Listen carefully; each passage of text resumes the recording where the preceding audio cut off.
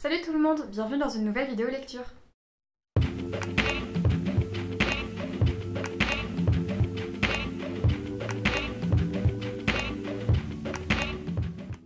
Je vais vous présenter aujourd'hui les lectures que j'ai faites euh, durant le mois de janvier et tout tout début février je crois. Euh, donc oui, avec un peu de, latence entre euh, le moment où je poste cette vidéo et le moment où j'ai fait ces lectures. Je commence avec la fameuse invasion de la Sicile par les ours euh, de Dino Buzzati. Donc c'est un auteur dont j'ai pas encore lu beaucoup de travail, si ce n'est quelques nouvelles, et surtout Le désert des Tartares, qui je pense est son chef-d'œuvre et un de mes livres préférés. Et donc j'ai découvert ce conte euh, qui est à la base écrit pour un journal et vraiment dédié pour les enfants, avec des illustrations que Buzzati a réalisées lui-même et qui sont franchement assez réussies. C'est un grand classique de la littérature jeunesse. Euh, on va suivre donc le personnage principal qui va être le roi des ours dont, le fils a été enlevé par les hommes. Et donc les ours vont choisir de descendre de leur montagne dont ils n'ont jamais quitté pour rejoindre donc la Sicile, la ville, et euh, récupérer le, jeune héritier, euh, le fils du roi des ours. C'est un conte qui va critiquer la vie urbaine, en tout cas la, vie de citadin, puisque c'est un mode de vie euh, un environnement qui va corrompre les ours, on va s'en rendre, compte au fur et à mesure de la lecture. Passer ce sujet qui est intéressant, c'est pas un conte que j'ai trouvé extraordinaire, euh, je pense que si je l'avais lu plus jeune j'aurais bien aimé, mais c'est vrai qu'aujourd'hui, bon, c'est pas des idées qui sont impressionnantes et j'ai pas trouvé ça euh, très, très transcendant. Encore des contes avec des contes russes d'Afanassiev euh, et notamment L'oiseau de feu. Donc Afanassiev c'est un archiviste du 19e siècle euh, russe qui s'est attaché à rassembler plusieurs contes. Euh, au total je crois qu'il y en a plus d'une centaine, ici il y en a cinq qui sont rassemblés. et ce sont des contes qui proviennent de différentes régions de la Russie centrale. On va retrouver une figure assez récurrente dans la culture slave qui est la sorcière Baba Yaga, mais également d'autres thèmes qui sont, je pense, plus commun au conte en général, donc notamment euh, les histoires, les, les, rapts, les enlèvements, les vols, euh, les disparitions, le fait qu'on ait le chiffre 3 et 7 qui reviennent régulièrement puisqu'on va régulièrement suivre 3 ou 7 frères. Euh, également bah, des épreuves que le personnage principal doit passer pour prouver sa vertu ou récupérer un, objet particulier. Ça n'a pas été une lecture non plus transcendante, je trouve que les histoires se ressemblent beaucoup mais ça c'est aussi lié à la à une morphologie commune qu'ont tous les contes finalement. Euh, je trouve aussi que voilà, la, façon dont sont traités les personnages féminins est assez sidérante aujourd'hui, puisque c'est dans ce contexte-là en tout cas, ils sont vus comme des récompenses aux épreuves, comme des objets qu'on peut se passer en fait très facilement et c'est assez troublant de lire, de, lire ça et de se dire que ça peut être lu encore aujourd'hui à des enfants. Euh, c'est assez, euh, assez perturbant. On change de registre avec de la poésie puisque j'ai lu Baltique, œuvre complète de 1954 à 2004 de, euh, du poète Thomas Tranströmer. Alors c'est un poète suédois qui est né en 1931 et qui est décédé en 2015 et qui a reçu le prix Nobel de littérature en 2011. Dans les différentes poésies qui sont rassemblées dans ce gros recueil, on va retrouver des thèmes autour de la mer, de la forêt, de la ville, euh, du quotidien et aussi beaucoup la thématique du rêve. C'est une poésie que je trouve idéale à lire en hiver puisqu'on va avoir cette sensation de froid, de brume qui revient quand même assez souvent dans, le texte. Et euh, ce qui m'a vraiment frappé énormément plu avec la poésie de Tranströmer, c'est son génie pour les métaphores, pour les images, à créer des images qui sont inattendues et surtout avec une acuité assez euh, bluffante. Il arrive toujours à trouver des, associations de, mots et d'objets, d'animaux ou autres qui font sens, qui percutent, qui, euh, et qui sont aussi, je trouve, vraiment inattendus. J'avais jamais vu ce genre de, comparaison de métaphores auparavant. Et euh, c'est vraiment un des aspects de la poésie justement que j'aime particulièrement. Et je vais vous lire quelques extraits qui, pour ma part, m'ont beaucoup touché. Ils éteignent la lampe et son globe blanc rayonne un instant avant de se dissoudre, comme un comprimé dans un verre d'obscurité. Puis ils montent.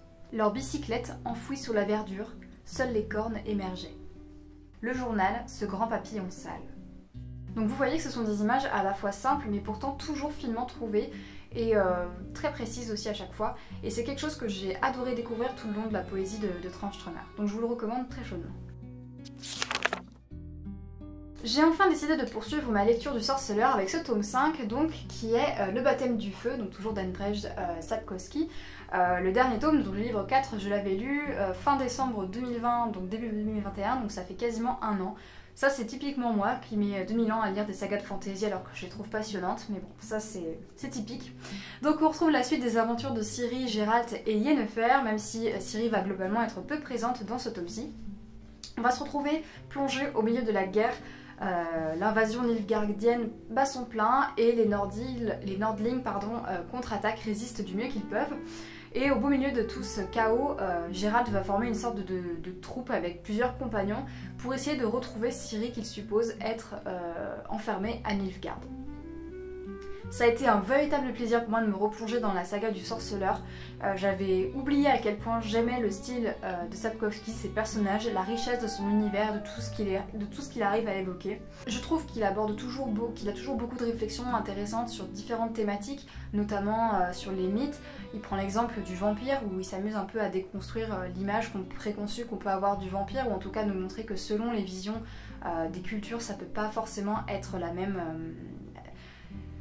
un mythe ne va pas forcément avoir la même signification ou se présenter de la même façon. On va aussi toujours retrouver cet humour qui est quelque chose d'assez caractéristique et qu'on a tendance à oublier chez Sapkowski. C'est des, espèces de blagues un peu, euh, un peu potaches, mais pas que, parce qu'il y a aussi une forme d'ironie qui est régulièrement utilisée par Gérald avec son cynisme. Et euh, il y a des phases assez tordantes et assez drôles, je dois avouer. Euh, je rigole assez souvent quand même devant, devant ces livres en général. Et puis euh, par rapport aux autres thèmes qui sont abordés que je trouve intéressants, il y a bien sûr le fanatisme religieux que Sapkowski dénonce très violemment, euh, également la mise, en avant, de différentes formes de culture, euh, avec ben, l'opposition entre la culture des Nilfgaard et celle des Nordlings justement. beaucoup de personnages féminins qui sont présentés avec des thématiques autour justement des femmes. on va avoir la loge des magiciennes qui est une entité politique de femmes indépendantes qui sont où il y a que en non-mixité, puisqu'il n'y a que des femmes dedans, et euh, qui entendent bien diriger le monde comme elles l'entendent. On a aussi euh, la thématique de l'avortement qui, est abordée, euh, ce qui n'est pas quelque chose, je trouve, de très souvent, fréquemment, qu'on trouve en fantaisie, et encore moins quand c'est un homme qui écrit l'ouvrage, je trouve. Donc là, j'ai trouvé que c'était traité avec beaucoup de, tact, de justesse. Et voilà, plus généralement, je trouve le, traitement des personnages féminins vachement intéressant dans l'œuvre de Sapkowski. Je dis pas qu'il s'émancipe de pour tous les clichés, mais euh, force est de constater qu'il a quand même de la richesse et de la diversité dans ce qu'il crée. Euh, voilà, je pense notamment au personnage de Milva qui est une archère très débrouillarde qui va accompagner Gérald pendant une partie de l'aventure. Euh, voilà, la relation aussi lesbienne que peut avoir Ciri qui est quelque chose encore aussi de très, étonnant pour, un écrivain qui est né, je sais pas, dans les années 50, 60. Enfin, c'est pas quelque chose que je m'attendais à trouver en tout cas dans un de ses écrits. Euh, la relation aussi des magiciennes entre elles qui sont intéressantes, on voit toutes les rivalités de pouvoir qui se font, la manipulation, c'est toujours aussi passionnant. Donc voilà, toujours une fresque, une belle fresque avec une belle narration d'un univers que, que Sapkowski maîtrise de bout en bout, où il place un peu ses idées aussi et ses... Euh, ou en tout cas des questionnements qu'il peut avoir, des réflexions tout le long du, tout le long du récit et c'est vraiment, ça rend la chose tout à fait passionnante. Donc j'ai enchaîné avec forcément le livre 6, La Tour de l'Hirondelle, que j'ai lu un petit peu moins vite je pense que le livre 5, mais qui était quand même tout aussi bien. Euh, c'est un tome dans lequel on va retrouver un peu moins de Gérald, mais beaucoup plus de Ciri, ce qui n'était pas pour me déplaire. Euh, c'est un personnage que j'aime beaucoup et qu'on va suivre ici avec un parcours très difficile. Elle subit des tortures mentales, des tortures physiques qui sont vraiment très rudes. Et euh, la narration est toujours aussi efficace, toujours euh, aussi pertinente parce qu'on voilà, on a cette alternance de points de vue, de cadre dont j'ai déjà parlé dans des précédentes vidéos que j'aime beaucoup chez, chez l'auteur, qui permet vraiment d'avoir euh, une vision très qui permet d'avoir beaucoup de diversité, d'avoir différents points de vue et de comprendre un peu toute la complexité du monde grâce à ça. Donc par exemple on va avoir Ciri qui raconte son histoire à un vieil homme, donc on a l'alternance entre présent et passé. Euh, on a aussi le témoignage de euh, Johanna Selborn qui est un personnage qu'on suit un petit peu euh, en dilettante à plusieurs moments dans le livre, qui va témoigner en fait au procès d'un personnage qui est Stéphane Skellen. Et donc il va nous permettre d'apprendre des informations et d'avoir d'autres points de vue sur ce qui se passe au même moment. Donc voilà, euh, en plus de ça, les chapitres sont entrecoupés d'extraits de, livres d'histoire, de légendes dans l'univers, et euh, c'est là qu'on se rend compte à quel point euh, l'auteur maîtrise son univers, à quel point il le connaît, et qu'il n'a pas juste créé cet univers pour un peu lier son histoire, mais que cet univers était déjà présent avant, et que son histoire n'a fait que, n'est que une continuation de ce qu'il avait déjà amorcé avec cet univers, j'ai l'impression. Euh, ce que j'ai aussi énormément aimé dans ce tome 6, c'est une scène de finale absolument incroyable avec Ciri. je ne vais pas vous spoiler, mais il y a une scène qui se passe un peu dans la nuit, dans la brume, qui a un potentiel esthétique au cinéma ou en série absolument immense. Je pense que ça ne sera pas adapté dans la série vu le tournant que euh, la série The Witcher sur Netflix a pris. Et c'est bien dommage parce que là, il y avait vraiment un potentiel. Euh, je me suis imaginé la scène, c'était absolument dingue. Et euh, plus généralement, bon, Cyril, c'est un personnage que j'adore, donc nécessairement ça, joue aussi. Mais non, c'était vraiment un final absolument. j'étais à la fin du livre, j'étais vraiment bluffée. Et j'ai hâte d'enchaîner sur le tome 7, mais je pense que ça me fera vraiment bizarre de terminer cette saga. Si euh, vous, avez hésité à la commencer, vous avez été très troublé par le tome 1, ne vous arrêtez pas à ça en fait, parce que le premier livre est plus un ensemble de fragments qui vont peu à peu converger euh, vers une histoire qui va, on va dire un fil principal d'histoire. Mais c'est vrai que le début de The Witcher est très particulier parce qu'on comprend pas trop ce qui se passe, il y a des personnages un peu dans tous les sens, on a des bons temporels qui sont faits. Euh, si vous avez vu la série, bah, ça reprend un peu, la série en fait reprend cette narration et donc ça peut être assez troublant quand on n'est pas, n'est pas au fait de de tout l'ensemble de l'histoire du sorceleur. Je termine cette vidéo avec un gros gros livre imaginaire du jeu vidéo, les concepts artistes français de Marine Mac. Alors Marine Mac, vous la connaissez peut-être, elle est chroniqueuse sur euh, l'émission Jour de Play d'Arte, elle fait également, euh, elle a également une chaîne YouTube où elle parle du concept art, et euh, elle a dirigé je crois des galeries, je sais plus exactement, mais euh, c'est quelqu'un de très actif en fait sur euh, la question du concept art dans le, dans le, jeu vidéo spécifiquement. Et donc cet ouvrage complet va nous permettre de découvrir cette discipline qui nous vient donc du cinéma, puisque le concept art c'est fabriquer les décors qui vont servir pour le jeu vidéo et donc aussi pour le cinéma. Euh, elle va, c'est un livre qui va nous montrer en fait tout l'intérêt de, ce métier de, concept artiste, mais aussi de caractère designer, donc les personnes qui créent les, les designs des personnages euh, dans le domaine du jeu vidéo et tout l'intérêt que cela peut avoir. Elle va introduire donc euh, ces notions et puis ensuite partir à la rencontre de 10 studios français de jeux vidéo. Donc au programme, eh on va avoir un aspect, on va dire, technique, euh, les méthodes de travail, les inspirations, les influences, qu'elles soient euh, par exemple picturales ou littéraires. Et également des anecdotes et aussi des artworks parce que c'est avant tout un livre euh, sur le concept art mais avec des artworks donc c'est vraiment un livre magnifique avec une très belle mise en page et que j'ai pris beaucoup de plaisir à parcourir pour découvrir notamment tous ces artworks. Donc c'est un livre que j'ai adoré parcourir. Pour moi, c'est vraiment un ouvrage de, référence sur la thématique du, concept art dans le, jeu vidéo.